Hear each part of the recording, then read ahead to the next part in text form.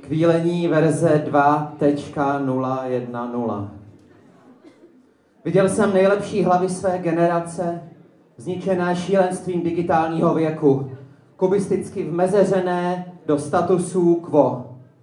Quo vadis, to se líbí uživatel Petr, Pavel, Matouš, Marek, Lukáš, Jan. Čistá karma, Made in Barma, to se mi líbí. Mike Tyson, oplatit šťouchnutí, to se mi líbí. Milenci mojí ženy, vytvořit skupinu, už se mi to nelíbí.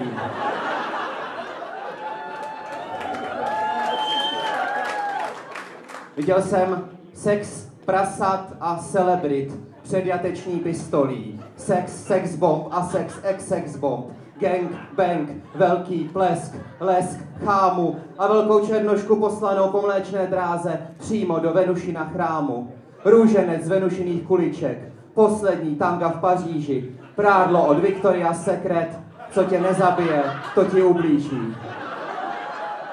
Viděl jsem Viděl jsem bombardování silikonového údolí ve válce mezi USA a USB o USD.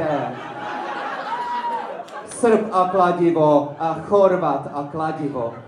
Ve válce o odpovědi na všechny tyto otázky padlá dvojčata v Osvětimi, padlá dvojčata na Manhattanu, padlá dvojčata u Katyně, černé skříňky a černobílé obrázky.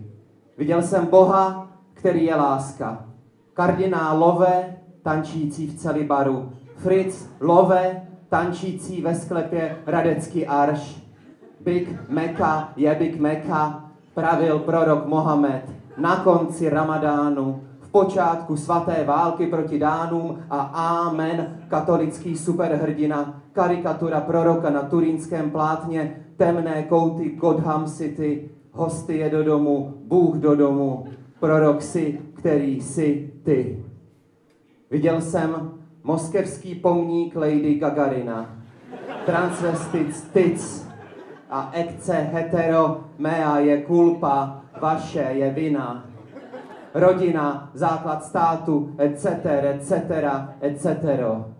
Viděl jsem člověk a viděl jsem lidé, svět jako němý film natočený ve 3D.